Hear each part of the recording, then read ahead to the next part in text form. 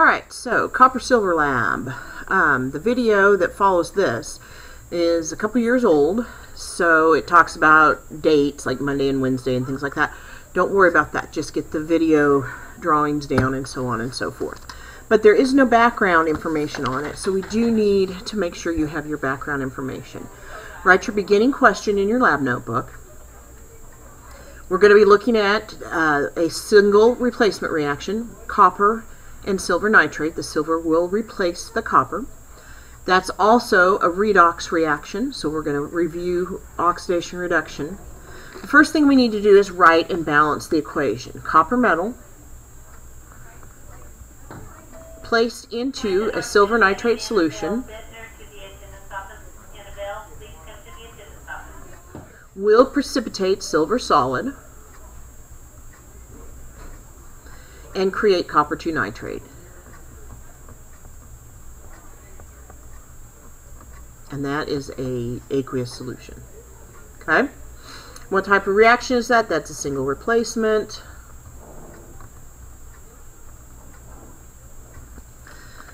If we think about oxidation numbers, we know the copper is going to have an oxidation number of 0 because it's an element by itself. Silver is going to have a plus 1. The nitrate is going to be a negative 1. The silver on this side is going to be a have an oxidation number of 0. This copper has an oxidation number of 2. This nitrate has an oxidation number of negative 1. So, looking at these numbers, what is being oxidized? Whose charge has gone up? Copper has gone from a 0 to a plus 2, so we write copper becomes copper 2, and it lost 2 electrons. Silver is going from a plus 1 to a 0, so it is losing 1 electron. Okay. The next thing on here, it asks you, what does percent yield mean? Percent yield means the percent that you produced. In other words, we know how to do percent, the part divided by the total. We're going to figure out the amount that we produced compared to what we should have produced. I'm going to make a, wait a minute, this is what I want. Place so that I can do the math here. All right. So percent yield is going to be what you got divided by what you should have gotten.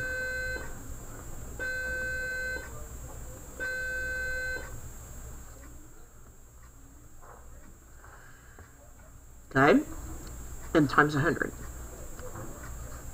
If you are given 0.5 grams of copper, what amount of silver would you expect to get? Well, we look up at our equation copper to silver, if we balance this guy, we need two nitrates, so we would make two silvers.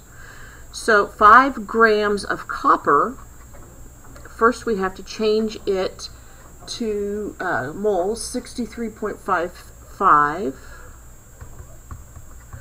grams in 1 mole. That gives us moles of copper. Our ratio of copper to silver is 1 to 2, 1 mole of copper to 2 moles of silver. That will tell us how much silver we should make. The amount of silver um, 107.9 and 1 mole. And you can do the math on your own. So, the next question, if you want to get 2.5 grams of silver, how much copper, how much silver nitrate?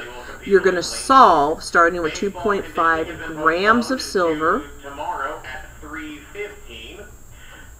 Your elected department will be presenting Disney's The Little Mermaid this weekend. Our ratio of silver to silver nitrate. And February 3rd and 4th at 2 o'clock.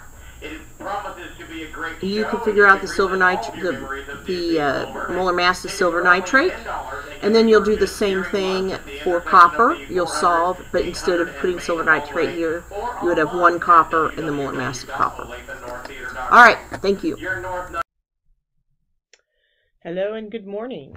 Today we're going, I've gone ahead and drawn the steps for the first part of the procedure um, so that I'm not going to spend quite so much time filming, you guys can always pause to do your drawing.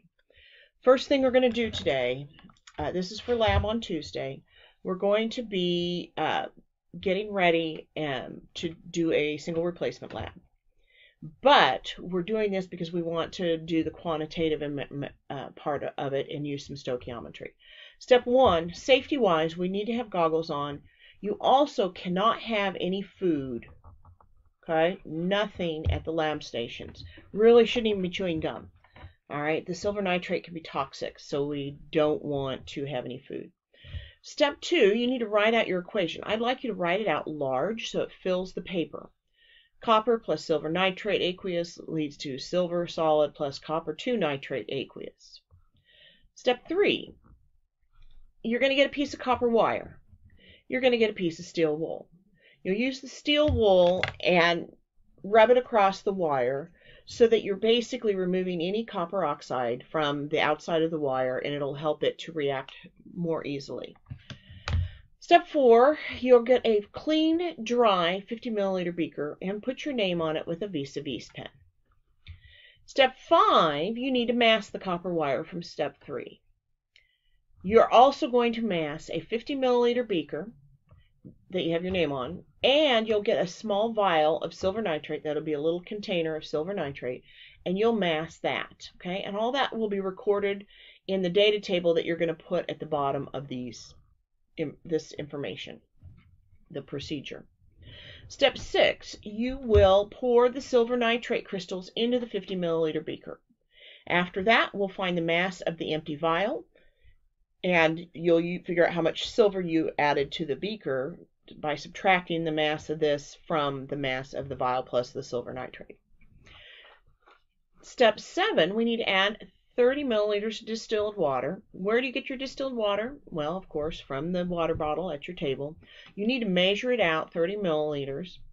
Step 8, we're going to take that wire and coil it into kind of a, a I don't know, twister, tornado like thing. And up at the top, you need to keep a little hook because you're going to hang it over a, a, a wood splint. Step 9 and 10. 9, you'll hang it on the wood splint. So let's say that this is my copper wire. It's actually a pair of scissors for ripping seams. And here's my wood splint. You'll hang it like that. Okay? But it'll be, of course, coiled around. Then you will take it and you'll set it down into your 50 milliliter beaker. Okay? We good? All right. After that, we're going to let it sit.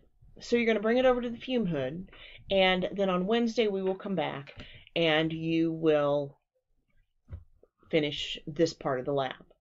Need to make a data table. I want you to copy this data table into your lab notebook. Make sure you have a large enough space that you can write. Make sure you put your uh, name and type or put your title and the observations on the top. Underneath that, you need to have a space for observations because when you are done on Wednesday, when you come back in, first thing you're going to do is write down what do you see in the beaker. All right. Now, all right, we have I cannot move that. There we go. Day two, I'm actually just going to move it up here. Make it easier. For day two, you'll start out by making an observation. So this will be Wednesday morning of your little beaker with your coil in it. Then you will take the beaker, and remember here is my fake coil and you're going to take this and tap it on top of the beaker because you want to shake as much of the silver off into the bottom of the beaker as you can. Step three, you will get, you'll have, I will have acetone for you, probably put one container of it at each station. You'll dip your copper wire into the acetone and then let it dry. This should dry fairly quickly, that's why we're drip, dipping it into the acetone. Then you'll take your copper wire, find the final mass of it, and then you'll record that. Then you're going to get a piece of filter paper, find the mass of the filter paper, fold it up, put it into a funnel. Step five, you'll pour your 50 milliliter beaker solution of silver nitrate into the funnel and allow that to drain through. You want to get all of your little silver uh, crystals in there too, so you can use a uh, wash bottle to squirt up inside of the 50 milliliter beaker and wash all that in. You want all of your solid in here. You don't want anything left in here because that's going to screw with your final results. Step six says to wash it. What that means is you fill the um, filter paper up almost to overflowing with distilled water and let it drain through. And you're going to let it drain through three times. After that, carefully take your filter paper out you can kind of open it up. You don't need to open it all the way, although you can. And you're going to set it on a watch glass. Make sure you've put your name on that watch glass. And again, we'll take it to the fume hood for drawing purposes. The last day we'll simply be measuring and doing calculations, and we won't need a video for that. All right. Thank you very much.